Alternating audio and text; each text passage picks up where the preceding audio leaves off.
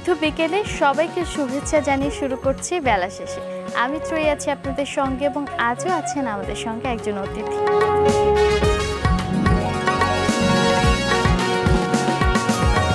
দর্শক চলে এলাম অতিথি পর্বে। আজ আমাদের সঙ্গে আছেন সালেহ মুজাহিদ প্রধান নির্বাহী কর্মকর্তা ইস্টার্ন সিমেন্ট লিমিটেড এবং ডোরেন ডেভেলপমেন্ট। কথা বলব তার সঙ্গে। কেমন আছেন? ভালো। আপনাকে অনেক স্বাগতম আমাদের অনুষ্ঠানে। আপনাকেও স্বাগতম। দুটো কোম্পানির সাথে জড়িত আছেন। শুরুতেই জানতে চাই বর্তমানে কি কি নিয়ে ব্যস্ত আছেন? আমি যেহেতু দুটো কোম্পানির প্রধান নির্বাহী কর্মকর্তা একটা হলো ইস্টার্ন সিমেন্ট লিমিটেড জি। সেটা ব্র্যান্ড হলো সেভেন অর সিমেন্ট আর। ডোরিন ডেভেলপমেন্ট লিমিটেড আচ্ছা। কাজে আমার মোস্ট অফ দ্য টাইম অফিসের কাজে আমি ব্যস্ত থাকি। টোটালটা সাজানো পুরো অর্গানাইজেশনের টোটাল স্টাফিং কীভাবে স্ট্র্যাটেজি ফিক্স আপ করা আচ্ছা। এবং আমরা ভবিষ্যতে কতদূর কীভাবে আগাবো এই সমস্ত কিছু পরিকল্পনা নিয়ে আমি ব্যস্ত থাকি। আচ্ছা। এছাড়াও আহ, আপনার ব্যক্তিগত কিছু মানুষের তো শখ থাকেই। যেমন আমি সুফিজম নিয়ে পড়াশোনা করি সবসময়। আচ্ছা তারপরে আমি গান শুনি প্রচুর। আমি কবিতা লিখি। আমি ফটোগ্রাফি করি এবং আমার পরিবার পরিজন নিয়ে আমি সুখে শান্তিতে বসবাস করি। চমৎকার। অনেক কিছু তাহলে পাওয়া গেল আপনার সঙ্গে গল্প করার মতো। তবে তার আগে জানতে চাই যে পথ পরিক্রমা। জি। আজকের এই অবস্থানে আসবার পেছনের গল্পটা জানতে চাই। অবশ্যই। ছোটবেলায় বেসিক্যালি আমি যে আজকে এই জায়গায় আসব এত দূর আসব সেটা আমি আমি নিজে বিশ্বাস করতাম। আরও অনেক বড় আমার ধারণা নিজের সম্পর্কে ছিল কিন্তু আমার পরিবার কখনো বিশ্বাস করেনি যে আমি এত দূর আসব। আচ্ছা। পড়াশোনা করব ভালো রেজাল্ট করব বা একটা কোম্পানির কর্ণধার হব এটা আমার পরিবার কখনো বিশ্বাস করেনি। এর কারণ ছিল কারণ আমি ছোটবেলায় খুবই দুষ্টু ছিলাম আমি পড়াশোনা করতাম না। আচ্ছা। আমি খুব অল্প বয়স থেকে ক্লাস ফাঁকি দেওয়া শুরু করি আচ্ছা আচ্ছা। আমি যখন পঞ্চম শ্রেণীতে পড়ি তখন প্রথম স্কুলের ওয়ার্ল্ড টপকে আমি বেরিয়ে যাই। আমার স্কুলটা লালবাগ কেল্লার খুব কাছে ছিল। আমরা কয়েক বন্ধু মিলে ওখানে আড্ডা আড্ডা দিতাম। পরবর্তীতে যখন আমি ক্লাস এইট নাইনে উঠি তখন আমি একদম মোটামুটি ক্লাস করা বন্ধ করে দিই। কিন্তু যখন আমার স্কুলের টেস্ট হলো আমি আচ্ছা। খুবই খারাপ রেজাল্ট করলাম।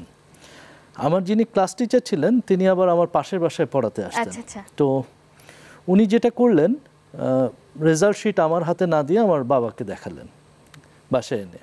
তো আমার বাবা খুব ইন্টারেস্টিং ক্যারেক্টার ছিলেন। উনি যেটা করলেন যে উনি আমার হাত ধরে আশেপাশের বাসায় স্পেশালি যে বাসাগুলোতে মেয়ে ছিল সেই বাসাগুলোতে উনি নক করে আমার রেজাল্ট দেখালেন।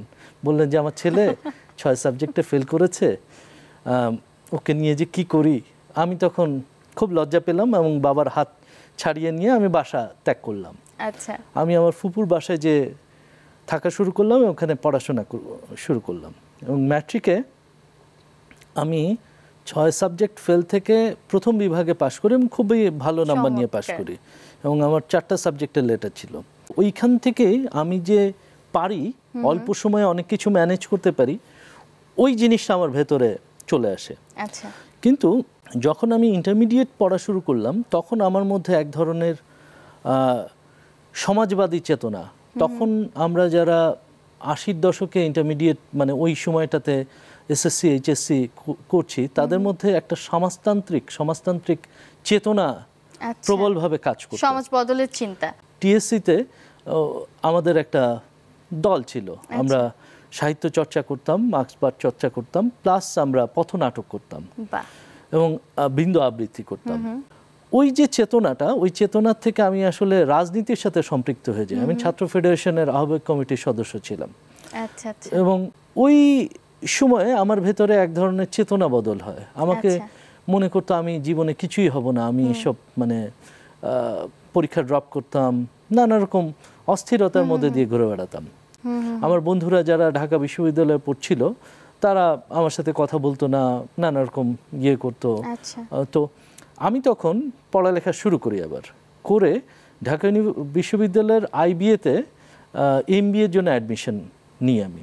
সেটাও এক ধরনের দেখিয়ে দেওয়া যে আমি পারি আমার আচ্ছা, ভেতরে আচ্ছা। সেই ক্ষমতাটা আছে। তো পরে আমি এম বি পাশ করি। এম বি এ পাশ করার পরে আমি যদিও এম বি এ পাশ করি আমার ভেতরে যেহেতু এক ধরনের মানবতাবাদী এবং সমাজবাদী চেতনা ছিল আমি প্রাতিষ্ঠানিক চাকরি কখনো করতে চাইনি। আচ্ছা। আমার ভেতরে একটা ছন্ন ছাড়া ভাব সবসময় ছিল যে যে কাজটা করলে আমি অনেক বেশি নিজের জন্য সময় পাবো ঘুরে বেড়াতে পারব আমি শিক্ষকতার দিকে লাগলাম। আচ্ছা। আমি স্কুলে শিক্ষকতা করতাম। আমি একটা স্কুলের লিড টিচার ছিলাম। তো ওখানে প্রায় দুই আড়াই বছর যখন কাটালাম আমি প্রচুর সময় পেতাম এবং প্রচুর আড্ডা মারতাম ঘুরে বেড়াতাম পড়ালেখা করতাম।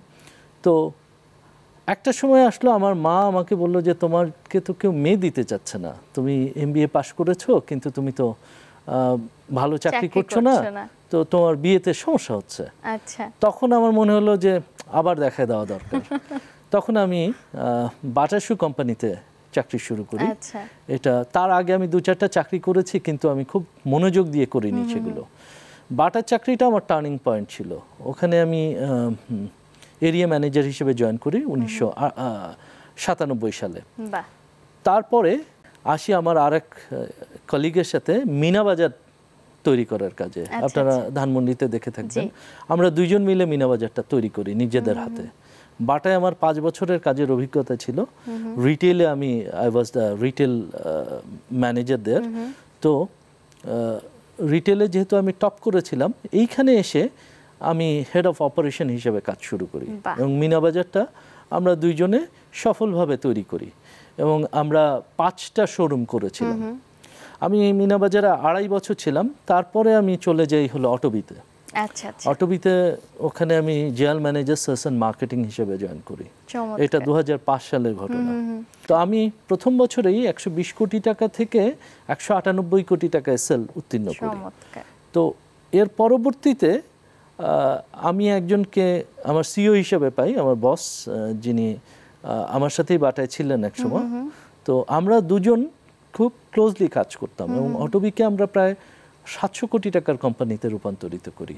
অসাধারণ। তারপরে আমি এসিআইতে জয়েন করি অ্যাজ ডিরেক্টর অপারেশন আচ্ছা আচ্ছা। এইভাবে আস্তে আস্তে আস্তে আস্তে পরে। ডেকোতে আসলাম আচ্ছা। ডেকো থেকে তার পরবর্তীতে আমি আসলাম আপনার এখন যেখানে আছি ইস্টার্ন সিমেন্ট লিমিটেড চমৎকার। অনেক বড় একটা কাহিনী শুনলাম এবং শুনতে ভীষণ ভালো লাগল। চড়াই উচ্চাইয়ের ঘটনা ছিল কিছু। আরও কথা বলব। বিরতির সময় হয়ে গেছে বিরতিটি নিয়ে আসি। দর্শক আমাদের সঙ্গে থাকুন। ছোট্ট একটি বিরতি নিচ্ছি তারপর আবারও ফিরে আসব। কথা বলব আমাদের আজকের অতিথির সঙ্গে।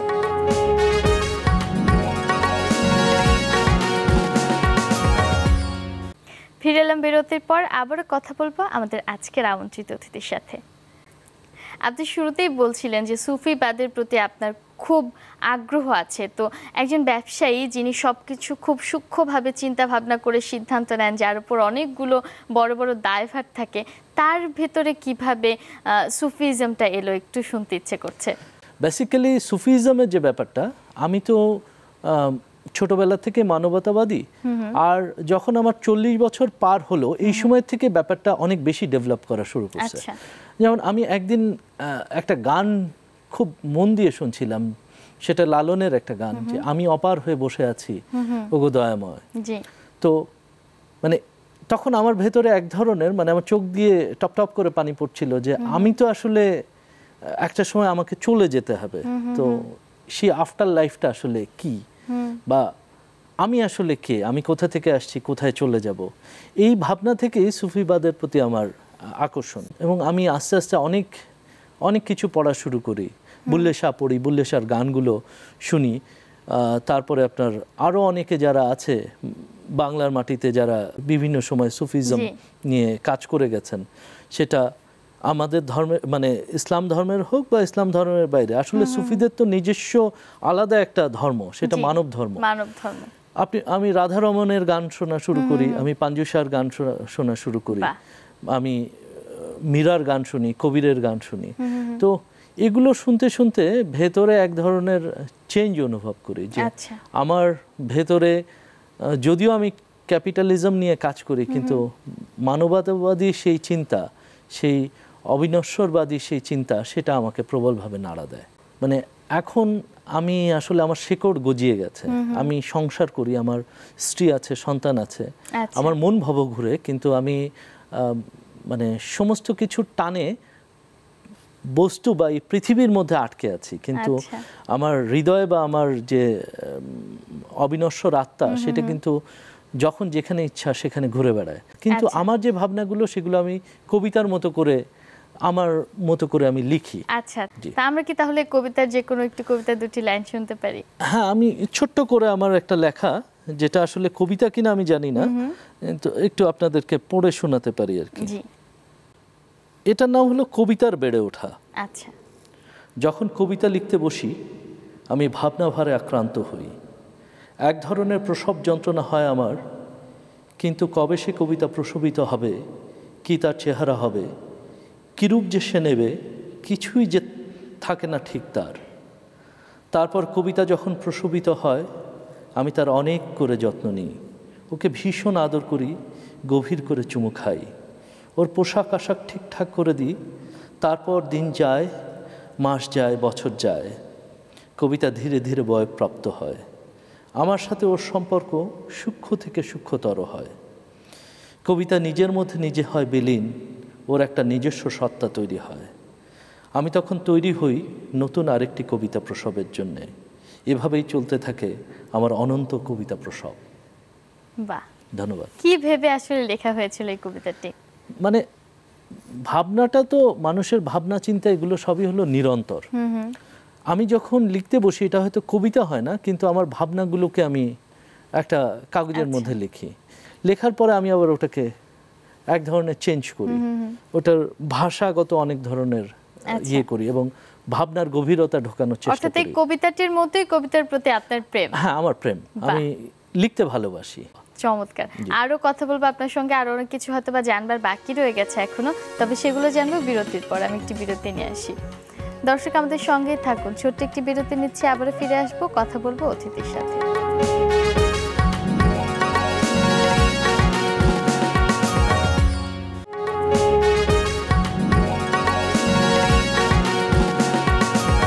দর্শক আবারও ফিরে এলাম বিরতির পর। আমাদের সঙ্গে আছেন আমাদের আজকের অতিথি। চলুন আবারও কথা বলবি তার সাথে।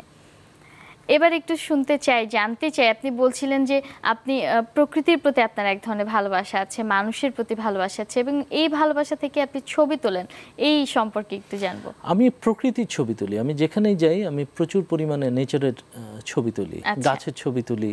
আমি পাখির ছবি তোলার চেষ্টা করি। এবং মানুষের ফেস নিয়ে আমার এক ধরনের আগ্রহ আছে। মানুষের ভেতরে যে কর্মকাণ্ড হয় তার আচ্ছা। ভাবনা জগতে সেটা তার চেহারার মধ্যে প্রস্ফুটিত হয়। আচ্ছা। স্পেশালি শিশুদের চেহারা তার মধ্যে একটা নিষ্পাপ আপনার ইয়ে একটা ভাব প্রকাশিত হয়। আমরা যখন বড় হই আমাদের চেহারার মধ্যে দৈনন্দিন গ্লানি দৈনন্দিন নানা রকম চিন্তা ভাবনা কুটিলতা জটিলতা এগুলো প্রকাশিত হয়। কিন্তু শিশুদের সেই জিনিসগুলো থাকে না। ফলে শিশুর চেহারা তুলতে আমার খুব ভালো লাগে। ওদের যে বিস্ময়ের এক্সপ্রেশনগুলো একটা শিশু একটা রুটি পেয়ে যে কি আনন্দিত হয়।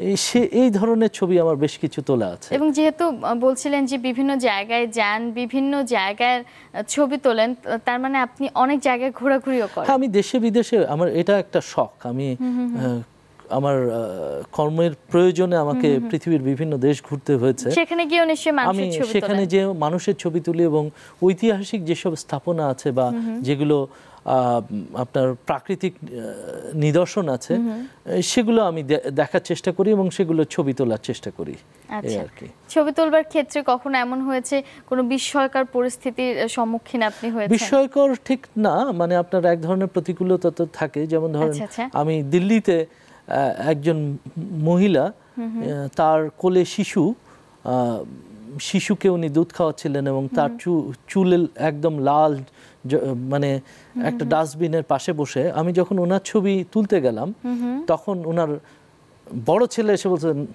নেই নেই ওগা। আচ্ছা। কারণ সে তার মাকে প্রোটেক্ট করতে চায়। তো এক ধরনের এরকম কিছু সমস্যার সম্মুখীন তো হয়েছি আর কি। তারপরেও ছবি তোলবার পরে কিন্তু এক ধরনের এক ধরনের আনন্দ আনন্দ হয়। হ্যাঁ, আনন্দ অনুভূত হয়। আর ধরেন এর বাইরে আমি প্রচুর গান শুনি। গান আচ্ছা। বলতে এই যে সুফিবাদ রিলেটেড যেসব গান আছে রবীন্দ্রনাথ আমাকে অনেক বেশি তাড়িত করে। হিয়ার মাঝে লুকিয়েছিলে দেখতে আমি পাইনি তোমায়। হ্যাঁ। এই তোমায়টা কিন্তু আসলে কোনো অন্য কেউ না এটা প্রভু প্রভুকেই দেখার চেষ্টা করেছেন উনি। এগুলো আমাকে আন্দোলিত করে। এই যে এত কিছুর পরেও এত চিন্তা ভাবনা এত বড় বড় কাজের সাথে সংযুক্ত থাকবার পরেও পরিবারকে কীভাবে সময় দেন? পরিবারকে আমি একটা দিন ছুটি পাই শুক্রবার। শুক্রবারে সারাদিন আমি পরিবারের সাথেই থাকি পরিবারের আচ্ছা। প্রয়োজনে। আমার স্ত্রী অত্যন্ত ব্যস্ত মানুষ উনি নিজে ব্যবসা করেন ওনার একটি শেফ ট্রেনিং ইনস্টিটিউট আছে। যেখানে উনি প্রফেশনাল শেফ তৈরি করেন উনি নিজেও একদম ফর্মাল এডুকেশন পাওয়ার শেফ উনি ইংল্যান্ড থেকে পড়াশোনা করা প্লাস। ইউরোপিয়ান ইউনিয়নের রিকগনাইজ শেফ উনি। শেরাটনে উনি ট্রেনিং করেছেন। তো উনি থাকেন প্রচণ্ড ব্যস্ত। উনাকেও কিছু সময় দিয়ে আমি ওনার কাজেও সাহা- সহযোগিতা করি। যদিও আমার কোম্পানি নিয়ে আমি অনেক বেশি চিন্তিত থাকি। আর বাচ্চাদেরকে আমি খুবই আদর করি। আমি আচ্ছা। মানে খুবই গর্বিত একজন পিতা। বাচ্চাদের মুখ দেখলে আমার খুব ভালো লাগে। এই যে এত প্রতিকূলতার পার হয়ে আজকে আপনি একজন সফল ব্যক্তিত্ব দশ বছর পরে নিজেকে কোথায় দেখতে চান? আমি নিজেকে এবং আমার বাচ্চাদেরকে সবাইকে শুদ্ধ মানুষ হিসেবে দেখতে চাই। একজন পরিশুদ্ধ ভালো মানুষ যে মানুষের উপকার করে মানুষকে ভালোবাসে এরকম একজন মানুষ হিসেবে দেখতে চাই। আপনার প্রত্যেকটা আশা প্রত্যেকটা ইচ্ছা যেন সফলতা পায় এই আশা এই দোয়া আমাদের থাকল। আপনাকে অনেক অনেক শুভেচ্ছা আমাদের পক্ষ থেকে এবং অনেক অনেক ধন্যবাদ আমাদের অনুষ্ঠানে এসে আমাদের সময় দেবার জন্য। ত্রয়ী আপনাকেও ধন্যবাদ। এস এ টিভিকে ধন্যবাদ। আমাকে আমন্ত্রণ জানানোর জন্য।